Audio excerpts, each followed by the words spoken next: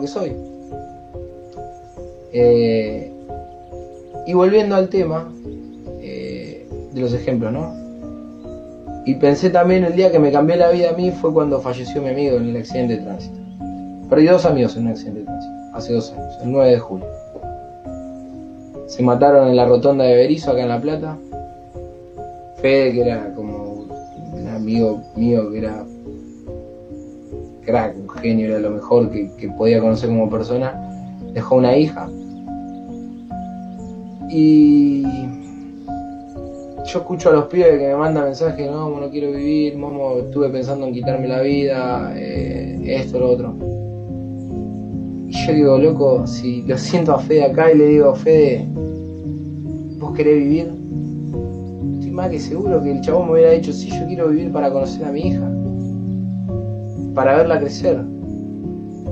Este loco no, no piensan en eso. O sea, piensen que, que hay gente que, que, se fue, que, que no está, que nadie le preguntó, ¿querés vivir no querés vivir? No, simplemente se fueron. Y vos tenés la opción y vos no podés bajar los brazos, hermano. Una de las primeras cosas en las que pensé yo en qué pasaba si yo me, me mataba era mi vieja. ¿Saben lo que hubiera sido la vida de mi mamá? Porque la naturaleza es, primero mueren nuestros padres y después morimos nosotros. Nuestros abuelos, nuestros padres y después nosotros. No es nunca al revés. Y a Fede nadie le preguntó, ¿querés vivir? A Dante nadie le preguntó, che, ¿querés vivir? Un día se la pusieron con el auto y se mataron.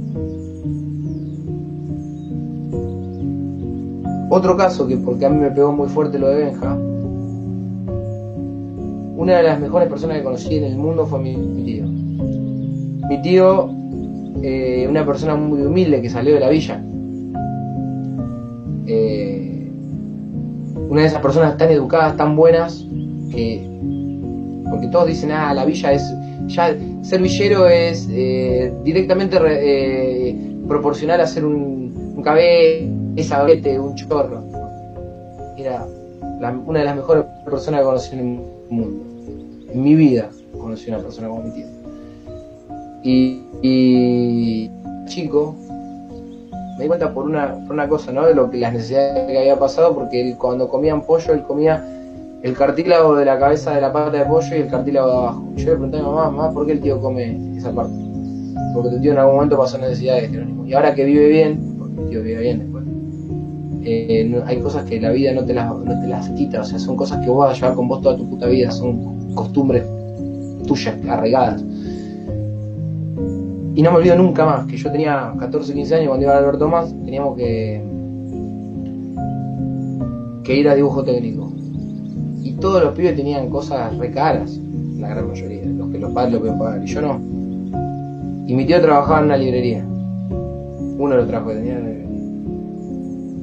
Y un día me habló con mi mamá, le dijo, me enteré que Jerónimo no tiene los materiales, qué sé yo. Y me llevó a la librería y me dijo, ¿cómo andás? ¿Todo bien, Jero? Bien, bien. Bueno, eh, te preparé algo, venía a buscarlo por la librería. Me había preparado un... No me acuerdo cómo se llaman ahora, son como valijas donde vos guardás los dibujos. Un porta... el porta tablero. Un portatablero con un tablero piscini, todo piscini, todo carísimo, reglas, no, no, no. Y yo ya era grande y tenía idea de que las cosas no eran gratis, entonces le digo, bueno tío, eh, arreglás con mi mamá esto, qué sé yo. Y me dice, despreocupate. Cuando llegué a mi casa con todo eso, mi mamá me preguntó, ¿de dónde lo sacaste? Digo, me lo regaló el tío. No, no, no, no te va a regalar nada el tío. Mi mamá lo llamó a mi tío, mi tío se ofendió. Dijo, no, es mi sobrino. Y, le- y después que él nunca te iba a decir te quiero o algo, no, no era una persona que, que te lo demuestre. Cuestión que a mi tío le agarra cáncer. Le agarra un cáncer de los peores.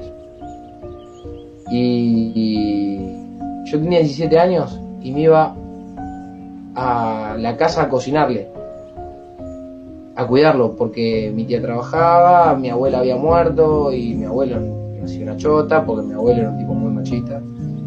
Y, yo pasaba mucho tiempo con él, le hablábamos y viví toda la enfermedad. Eh, y él me acuerdo que cuando le iba a cuidar, yo claro, me hacía un reviaje desde mi casa hasta Tolosa, que es re lejos, me hacía un reviaje. Y él me quería pagar.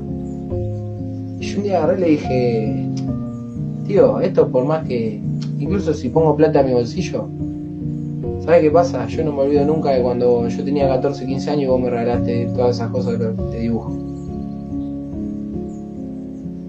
Y se cayó y lo entendimos los dos, los dos estábamos entendimos cómo era, ¿no?